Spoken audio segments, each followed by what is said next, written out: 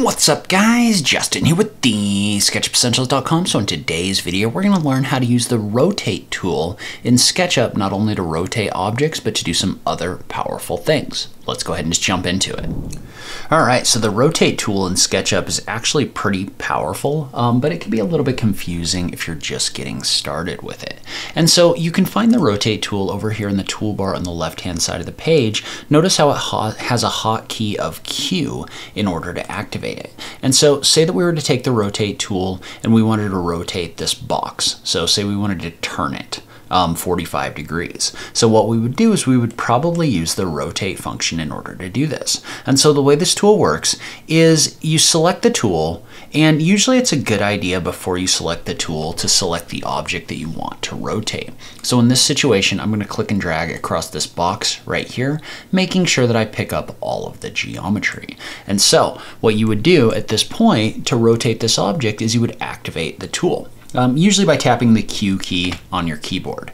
And so notice how when you do that, you get this little protractory looking thing um, that pops up on your screen. And you might have noticed if you mouse over things, it faces different directions depending on what you mouse over. So this is giving you the ability to set the direction that an object is rotated. And so that's probably the first thing I want you to note is you can mouse over an object, and then you can hold the shift key in order to lock a directional inference like this. Um, so if you wanted to rotate in this direction based on this face, notice how you can do that by mousing over it and then holding the shift key. But one of the more powerful ways to do this is to actually tap the up, left, or right arrow keys in order to lock the rotation plane to a certain direction. So in this situation, I would want to lock this to the up direction. So I would tap the up arrow key right here. And so when I do that, notice what's gonna happen is it's gonna lock it to this blue direction, and then I can set a base point. And so the base point is the central point from which your object is going to be rotated. So in this case, I want the base point of my rotation to be this corner right here. So I'm going to single click, move my mouse, and notice how it asks me to create another point. And the protractor is just going to kind of rotate around. So I've set the base point, and now I'm going to pick a reference point for the start of my rotation. Well, in this situation, that reference point is going to be right here.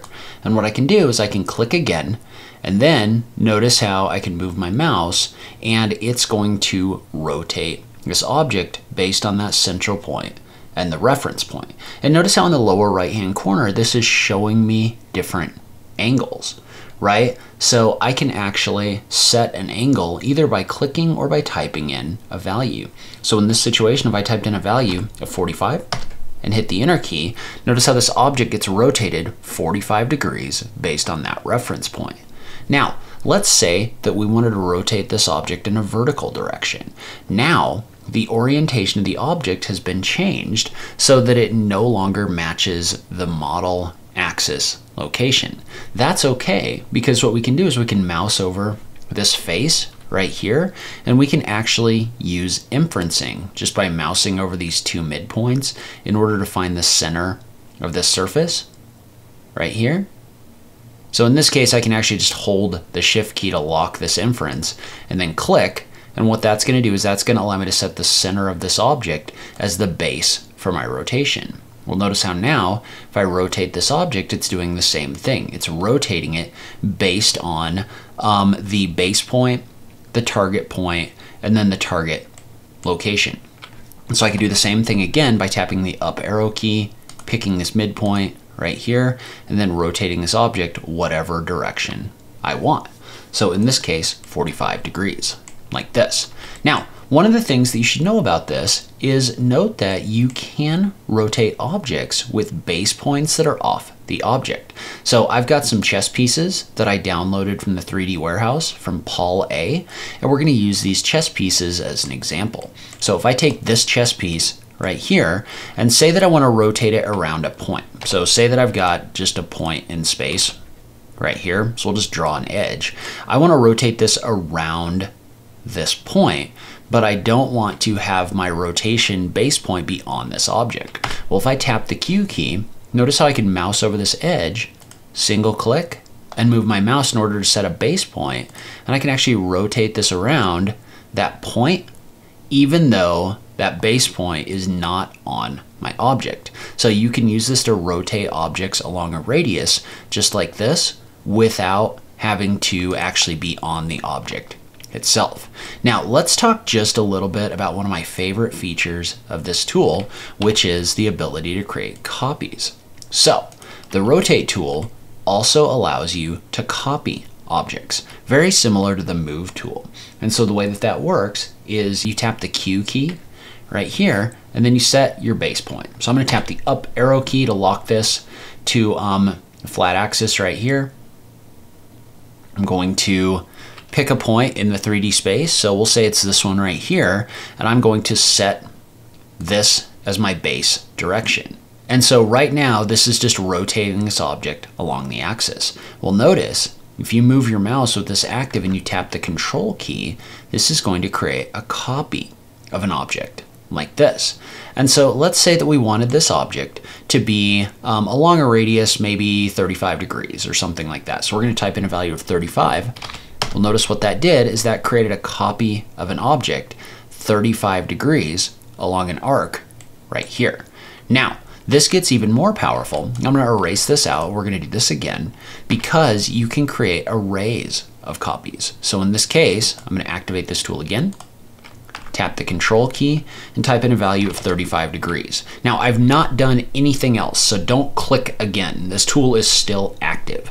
And so with this tool still active, if you type in either the star or the X key, and then a number of copies, so say I typed in a value of five and hit the enter key, this is actually going to create five copies along that radius in my 3D space.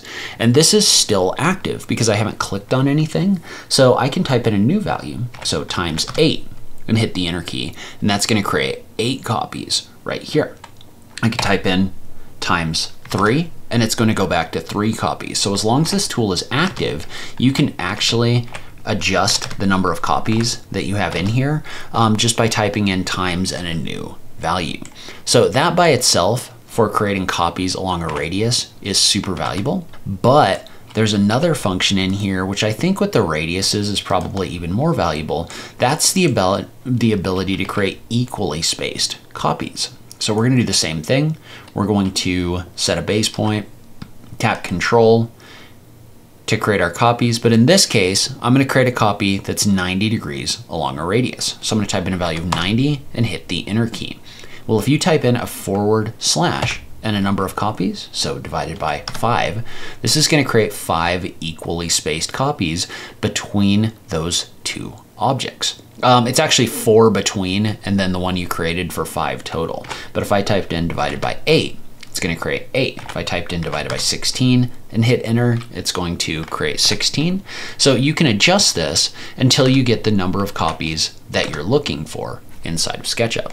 So that allows you to create equally spaced copies along a certain number of degrees inside of the program, which is pretty valuable. All right, so that's a high level overview of the rotate tool. Leave a comment below. Let me know if you learned anything, if there's anything you didn't know about. I just love having that conversation with you guys, or if you have additional questions. As always, thank you so much for taking the time to watch this, and I'll catch you in the next video. Thanks, guys.